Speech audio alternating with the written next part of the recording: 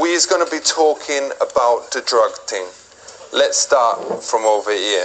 I mean, that's Moroccan black, in it? Yeah. After being obviously, if you didn't know that. How much would this cost you on the street? About 60, 70 pounds. Aye, but you'd probably be getting ripped off if you had to pay that much. I mean, you can get it cheaper than that. Okay. So what is the names for it? I mean, we all know it's called the Bionic, the Bomb, the Puff, Yeah. the Black, the Herb, the Sensi, the Chronic, Yeah. the Sweet Mary Jane, the Shit, the Bomb, the Ganja, the Reefer, the Bud, the Buddha, the Homegrown, the Ill, the Maui Wowie, the Method, the Pot, the Shake, the the Stress, the Tide, the Wacky.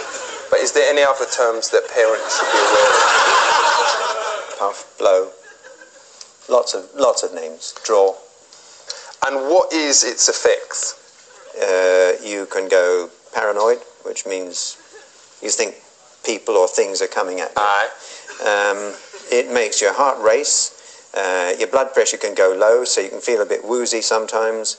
It's got a, a lot of medical effects on the body. And is there any negative effects? Those are negative effects. But uh, long term, there are negative effects. So if you wanted to get started, would you recommend this as a good first smoke? I wouldn't recommend it, no. So so far, this stuff is all legal. Uh, no, it's not. what these things? No, but if you was got it in your home, then that is cool, isn't it?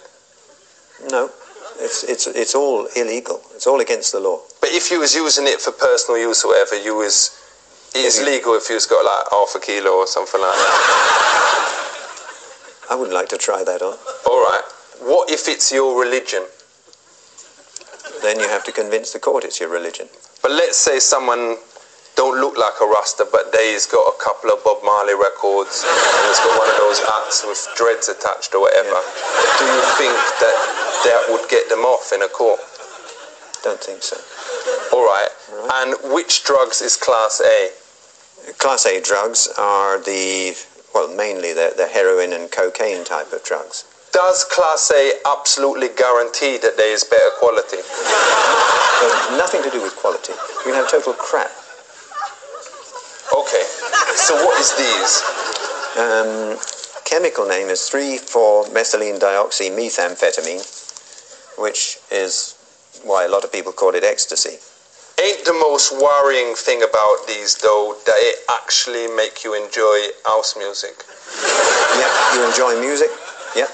Is there a chemical inside it that actually make you dance like a bellend? Yeah. You, it makes you dance. What is It- that chemical called? Well, it's, it is, it's, it's the ecstasy. It's the actual chemical itself. How many E's can you take in one night and still be safe if it if you has to do it? Uh, Some people can take um, two or three E's and no problems. Because I has never ever taken any drugs and you can test me piss. But I've got a mate called Dangerous Dave and I ain't gonna say his family name obviously. But he say that he has taken 22 E's in one night. Did he have a headache? Did he feel Well, he said he was like, you know, he found it difficult to get to sleep. Yeah. But the next day he was really buzzing, and actually the people on the Egham to Ruislip bus said that he drove it better than he ever done it. So do you think it can actually help him? it wouldn't help you to drive a bus?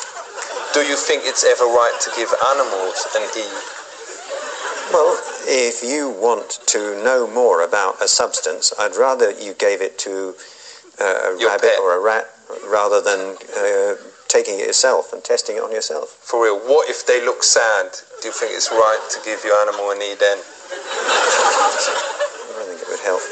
Because my mate Jezzy F once fed one to his dog and it went mental and started barking and then tried to bone the cat. Is that kind of thing possible?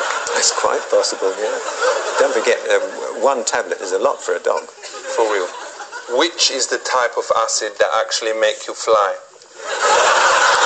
No acid makes you fly. But Acid can make you think you fly.